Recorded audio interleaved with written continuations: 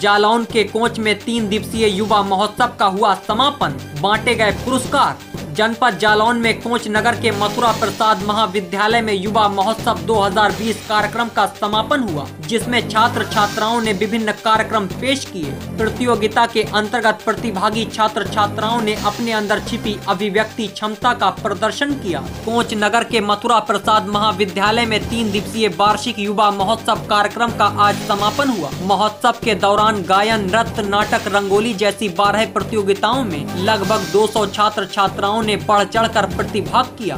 कार्यक्रम की मुख्य अतिथि रही नगर पालिका अध्यक्ष सरिता आनंद अग्रवाल ने कहा कि शिक्षा व्यक्ति के भविष्य को संवारने के साथ साथ देश और समाज की तरक्की के लिए भी बहुत आवश्यक है। लेकिन इसके अलावा भी बच्चों की प्रतिभा निखारने के लिए उनमें सांस्कृतिक अभिरुचि जगाना भी उतना ही ज़रूरी है। वहीं विद्यालय के संयोजक हरीश चंद्र तिवारी ने बताया कि विद्यालयीन छात्र छात्राओं की सृजनात्मक प्रतिभा को विकसित करने के लिए विद्यालय ने युवा महोत्सव कार्यक्रम का आयोजन किया है, जिसमें छात्र छात्राओं ने विभिन्न कार्यक्रम पेश किए। उत्कृष्ट करने वाले छात्र छात्राओं को उनकी प्रस्तुति के अनुसार प्रथम, द्वितीय एवं तृतीय पुरस्कार वितरित किए गए।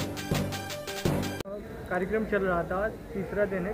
किसे क्या पुरस्कार मिला और क्या कहना चाहेंगे आप छात्र? युवा महोत्सव जो है, वो तीन दिन से लगातार चल रहा है और आज इसका समापन हो रहा है। आज मेधावी छात्र छात्राओं को पुरस्कार वितरण और जिन छात्र छात्राओं ने विभिन्न प्रतियोगिताओं में पुरस्कार प्राप्त किए, उनका आज पुरस्कार वितरण होगा और वो चल रहा है।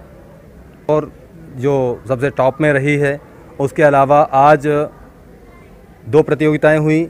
पिछले तीन दिनों में बारह प्रतियोगिताएँ हो चुकी हैं संपन्न हो चुकी हैं। परीक्षाएँ पर प्रतियोगिता हुई? बारह प्रतियोगिताएँ हुई हैं। छात्र छात्र समथिंग कितने छात्र छात्राओं ने पार्टिसिपेट किया? इसमें 200 से अधिक छात्र छात्राओं ने पार्टिसिपेट किया है। विद्यालय स्तर पर जो कार्यक्रम होते हैं युवाओं को बढ़ाने के लिए उन कार्यक्रमों में भी हम लोग अपनी टीम भेजते हैं। और वे यही छात्र होते हैं जो यहाँ श्रेष्ठ अंक प्राप्त किए हैं और ग्रेड प्राप्त किए हैं फ़र्स्ट सेकेंड थर्ड रहे हैं।